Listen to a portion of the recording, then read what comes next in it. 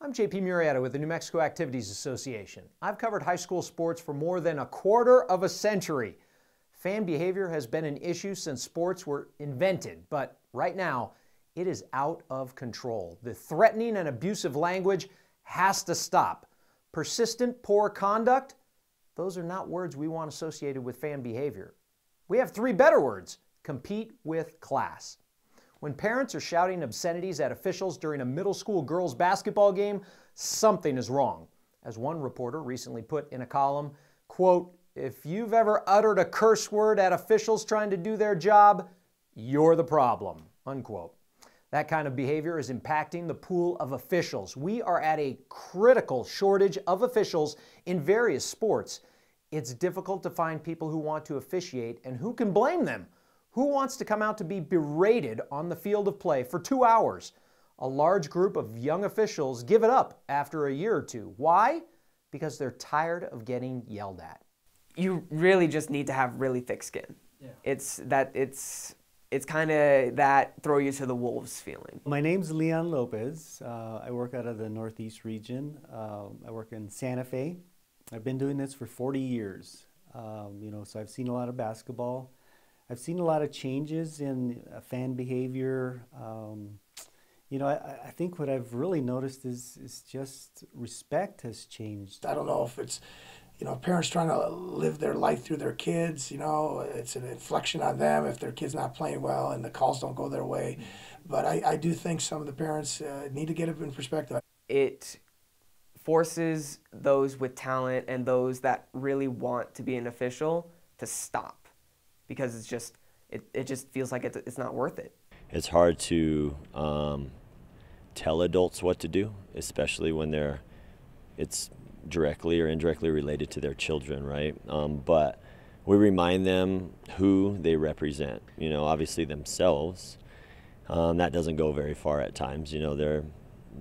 but when we tell them, hey, you do represent your child, you represent our program and our school, and I would appreciate you guys representing us in a classy way, the best way possible. You know, I've been on the floor when when fans are just being very abusive to referees and, and sometimes coaches and even some cases players.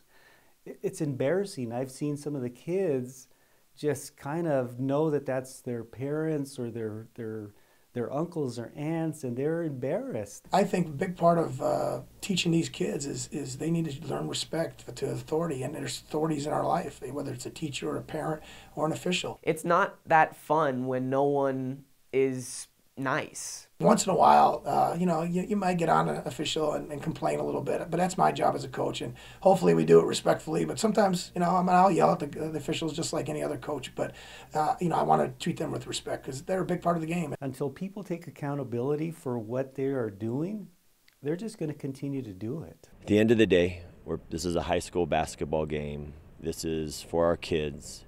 Um, we do need parent support and involvement we do need our officiating crew to um, be um, the best that they can be, just like we expect our coaches and our players to be. And by yelling at people, it just, I don't think that's really going to help. It's just a game. Let your kids have fun, let them play, and allow them to learn the game. I always tell the kids, everybody makes mistakes, coaches, players, and officials, and we just gotta, you know, understand that and, and move forward every time. We need to all do better.